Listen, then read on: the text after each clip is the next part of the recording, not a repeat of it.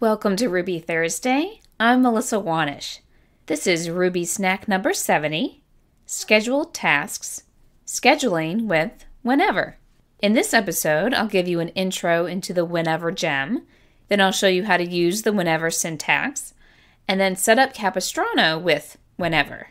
If you'd like to code along, you can clone the Ruby Thursday example app with this branch which is from Ruby Snack number 68, and that's the last time we jumped into the Ruby Thursday code. So you can git clone with that single branch, and then you cd into the folder and bundle, and then Rails db create db migrate. The Whenever gem is a Ruby gem that provides a clear syntax for writing and deploying cron jobs. If you watched Ruby Snack number 69, I showed you how to write the cron syntax into the cron tab on your server. Whenever provides a simpler syntax instead of the numbers and the stars and trying to remember what all they mean, you can instead write it in this clearer syntax. Here's a link to the gem and their documentation, which shows you various ways to write the jobs. Let's go ahead and set up whenever. We're going to add it to our gem file, then we're going to bundle, and the gem comes with a task called wheneverize and then dot for the directory that you're in and that will create a schedule.rb file in your config folder. So we'll go into that and we'll write up a schedule for a job. So for example, we're going to send our newsletter every Thursday at 4 p.m. Next, let's set up with Capistrano. We're going to add this line require whenever Capistrano to our Capfile. Then, whenever we deploy, it will update the cron tab for whatever we have in our schedule.rb. Jumping into our text editor, let's go to our gem file and we're going to add the whenever gem and save. Now let's bundle that up in order to install the gem. And now we're going to run our wheneverize command. And you see that it adds a schedule.rb file. Let's go ahead and check that out. And it has some notes for you We'll go ahead and paste in our command to send our newsletters every Thursday at 4 p.m. And then jumping to our Capfile, let's add that line at the bottom there. So it will update our cron tab. Let's go ahead and see what we have. I added some earlier. Let's go ahead and save all of this to our repository so that we can deploy.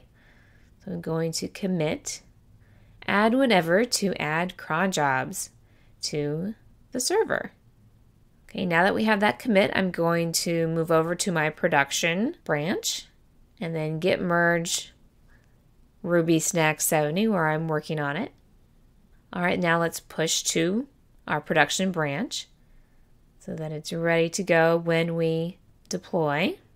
And here we go. Let's cap production deploy. And I've sped this up a little bit for time. And it's running through a bunch of things that we added yarn during our lovely series on JavaScript and Rails. And we put in some React things, so it's building that. All right, and now it's restarting the server.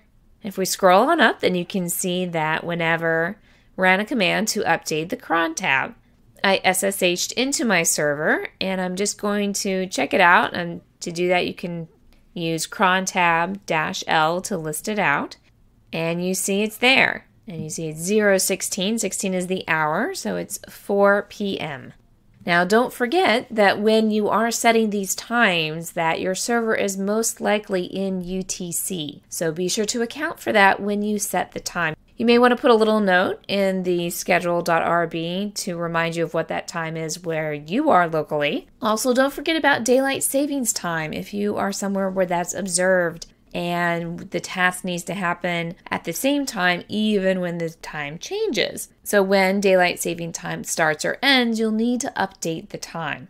In my various journeys with time and Rails, I have yet to find a really good answer to dealing with daylight savings time other than manually changing it. If you have a solution, feel free to leave a comment. Now, if you want the code to reflect a desired time in a particular time zone, you can check out this PR request for whenever that discuss several solutions, several ways of writing it differently if you want to set a different time zone. There's lots of opinions going on in that thread. It's very interesting to check out. That's it for this Ruby snack. Thanks so much for watching. If you are not already on my mailing list, head on over to rubythursday.com. We're going to be having some more live coding events, so be sure to sign up to find out when those are going to be. And if you're not already subscribed on YouTube, click that big red ruby to do so, and here's some other videos you can check out. Thanks again for watching, and I'll see you soon.